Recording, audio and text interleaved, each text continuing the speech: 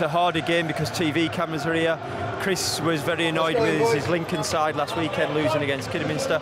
But I've got a lot of sympathy with Tranmere. We're in a, a very similar position, albeit this is their first season in, in non-league. Yeah, oh, sorry. Well, I'm just, I expect us to win 3-1 today, so there you go. And there was a little us in there as well. You just can't sit him on the fence. Well, here come the teams.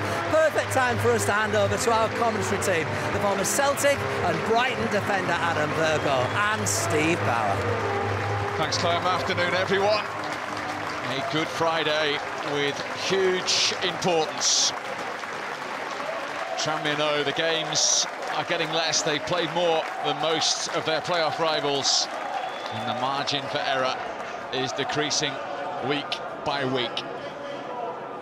The team that have drawn their last three make just one change today. It's a significant one, though, because captain Stephen Jennings, in his third spell with the club, who played in the Football League twice in two different spells for them, is back after injury in the centre of midfield alongside Jay Harris. Adam Mekki drops to the bench where you will find a new face, Scott Fenwick, known to Ronnie Moore because he scored goals for him to keep Hartlepool in League Two last season.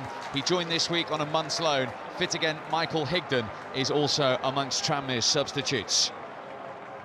Well, Chris Moyses makes two changes after that defeat to Kidderminster. Uh, in come George Maris on loan from Barnsley, the 20-year-old, his first start for Lincoln, and also in uh, Greg Tempest, the Northern Ireland under-21 international. All eyes on Matt Rhead. 22 goals in all competitions. He hasn't scored, though, in his last five.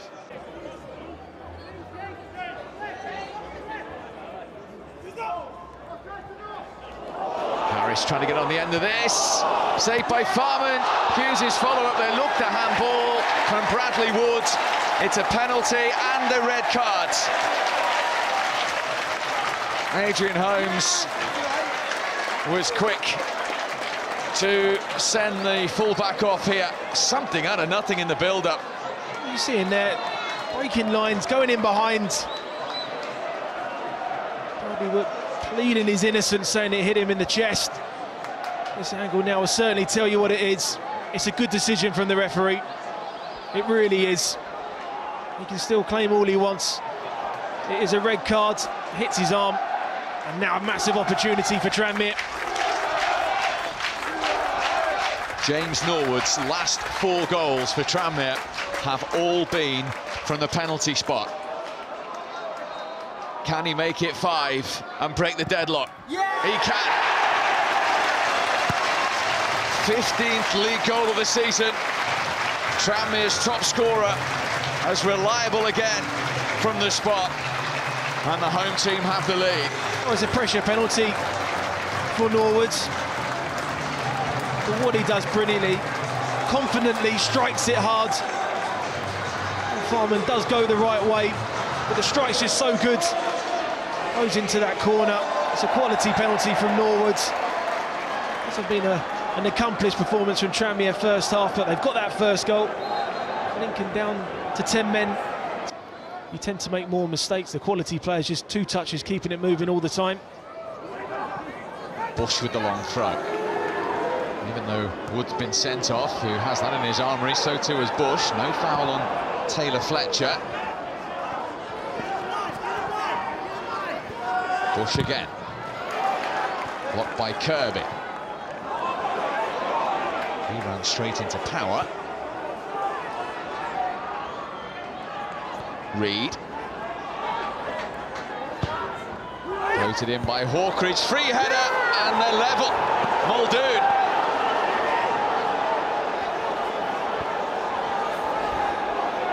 Well, it's Maris who got in there. And he marks his full debut. George Maris for Lincoln with the equalising goal. And the 10 men are back on terms. Well, it's a quality ball in, it really is.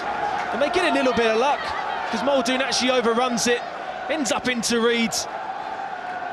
It's a quality ball in. Harris slips, he gets between Vaughan as well. And that's a brilliant header, you could just control it, you guide it. You use the quality of the cross from Hawkridge, gets it back in on his left foot, which he's stronger with. And that's a brilliantly controlled header. Big moment for the 20-year-old and a big moment for Lincoln. With 10 men to bring it back to 1-1.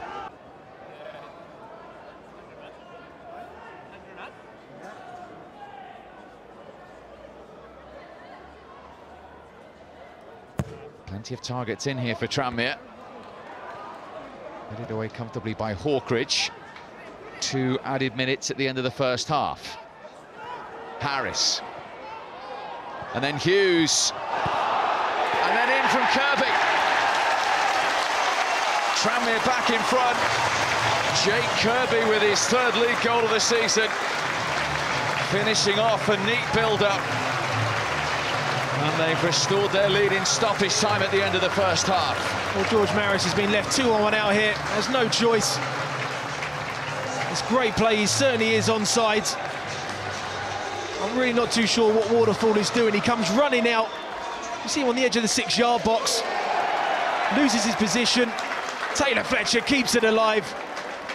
And Kirby then taps it in. A disappointing goal to concede just on the stroke of half-time.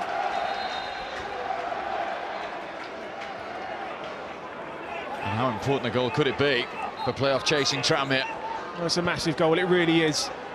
Lincoln goal would change the complex of Tranmere Rovers playoff push. In from Hawkridge. Solid header, and there is the goal. McDaid, the substitute, denied by Davies a little earlier. Thumps it past the Tranmere goalkeeper, and the 10 men have come back to 2-2. Well, you won't see a better header than this from Robbie McDaid. And it's a quality ball in again. The assist is there for you, and you've just got that desire and determination to go and win it, which he does. It's the first header, really, that McNulty's lost. But the ball in there was of real quality, and that's a great header, it really is, from the substitute. And now it's important that they keep their concentration and not concede a goal like they did last time. Anxiety around the stadium. I was just about to say that afterwards. I just the frustration, I say the chances that they created, and all of a sudden you're not keeping the ball very well. Misplaced passes are always met by groans, and these players have to deal with it. And that's probably been a feature this season, especially at home, dealing with pressure. There's no pressure there from Scott Davies, the goalkeeper. Here's Harris. Stayed on his feet. Mekki. And it's in. Adam Mekki has found the way through with a goal that could well keep those playoff hopes very much alive for Tranmere Rovers. Well, it is really heartache for Lincoln because they've given absolutely everything. But I always knew down that left-hand side there'd be that opportunity. Beevers goes in to try and win it, he doesn't. But all of a sudden, you just need that little bit of luck. And it actually comes off Lee Beevers in the end, which is deflected in the goal. Harris keeps it alive. Mekki's touch there, and when Beavers comes back in, just takes a wicked deflection off him.